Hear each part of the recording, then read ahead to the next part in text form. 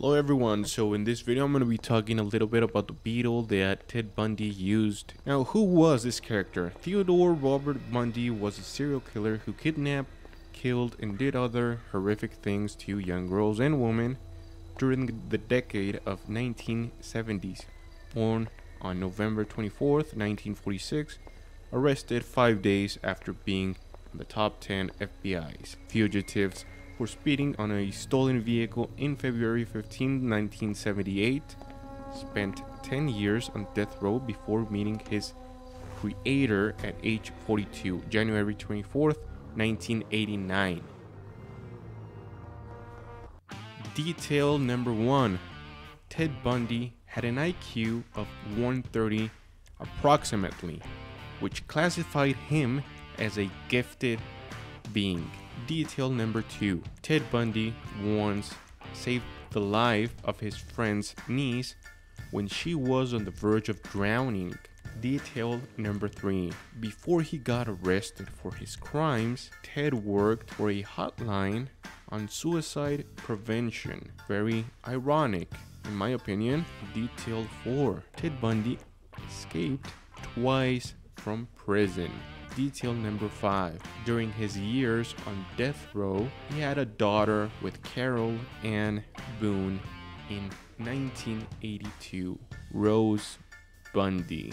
Detail number 6 Bob Hayward, the police officer who approached Bundy, remorsefully regretted in court not killing Bundy the morning he was caught driving the stolen vehicle February 15, 1978.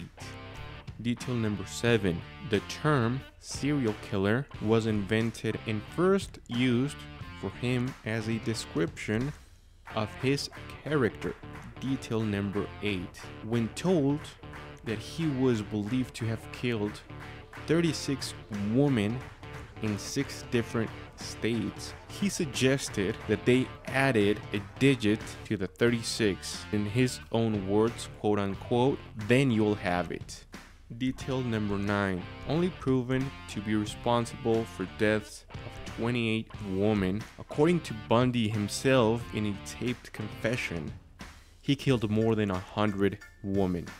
Detail number 10 Ted Bundy declined to be served a last meal, so he was served the standard steak cooked medium rare, eggs over easy, hash brown, toast with butter and jelly, milk, and juice.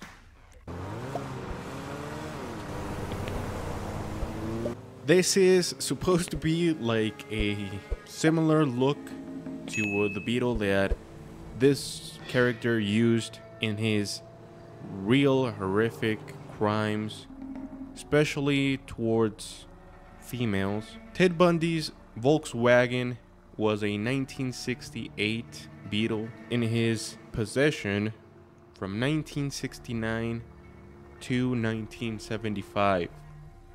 We can see that in the front, it's just like the original counterpart, which has the motor in the back, and the front is just, you know, like a trunk. I was a little hesitant with the rims.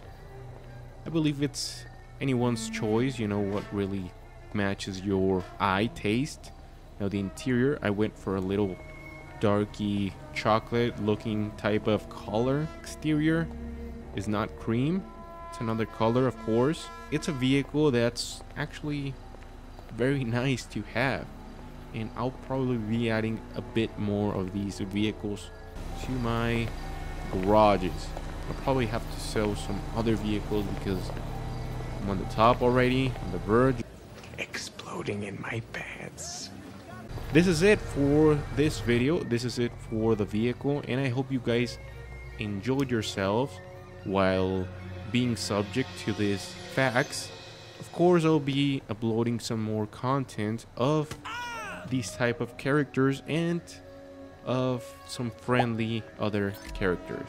If you have any suggestions, please feel free to leave them in the comments. Thank you for watching.